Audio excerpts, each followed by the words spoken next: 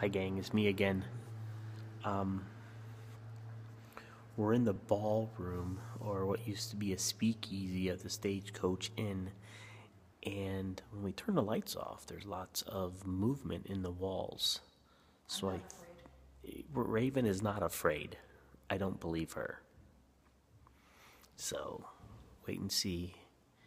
Turn off your flashlight. I, I'm going to show you how unafraid I am. Okay, I'm turning off the flashlight. So the only thing now is we have people moving up to the second floor. The flashlight says yes. Oh, good. Okay, they believe us.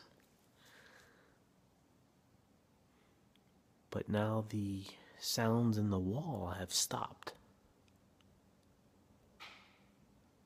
No, they're starting again. But I'm not afraid. But wait for it. It's not, that's not the that's not the cool sound. The scampering of little feet and chewing was really cool.